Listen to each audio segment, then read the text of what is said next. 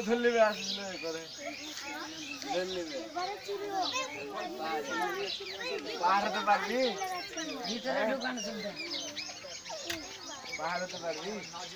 আরেকটা ডাল এটা গায়েব হয়ে গেল। হ্যাঁ গায়েব করে দিয়ে কত পুকুরে হ্যাঁ আগে বলে গায়েব করে দিয়ে ফেললে গায়েব সব ফেলতে নাম? সচিন দত্ত। কি হয়েছিল কালকে বলো তো? কালকে হঠাৎ টন্দে দিলাম তখন ঝড় এলো। বিদ্যুৎ চমকালো হঠাৎ বড় গাছ একদম পড়ে গিয়ে সব ঘর দুয়ার ভেঙে সব জিনিসপত্র নষ্ট। ছেলে পেলেগুলোকে বাঁচানোর জন্য তখন খুব বৃষ্টিও হচ্ছে বাজ পড়ছে বেরোতে পারিনি এদেরকে বেরিয়ে নিয়ে এসে এই ঘরটা একটা ঘর একটুখানি কোনো রকম আছে। ওইখানে ছেলে পেলেকে নিয়ে কাগজপত্রগুলোকে গোছাচ্ছিলাম। আর আমার ছেলে দুটো কেউ ছিল না, ওরা সব বাইরে ছিল।